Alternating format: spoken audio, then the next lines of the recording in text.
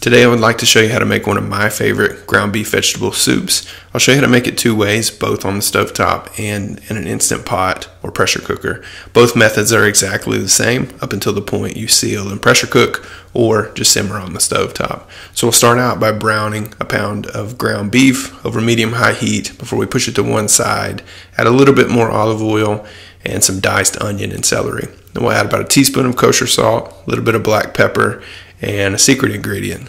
At least I like to think it's secret. Chipotle peppers in adobo that have been minced or smashed, some tomato paste, and garlic powder. You can also use fresh garlic here. And you just want to cook this down for maybe a minute, two minutes, and mix everything together before you add a pound of peeled and chopped russet potatoes and a pound of carrots. I use rainbow carrots here. Then we'll use some acidic ingredients in red wine vinegar, Worcester sauce, soy sauce, that umami note from those last two are really important.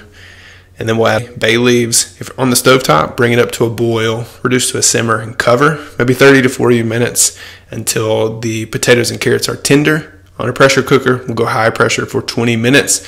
That should do the trick.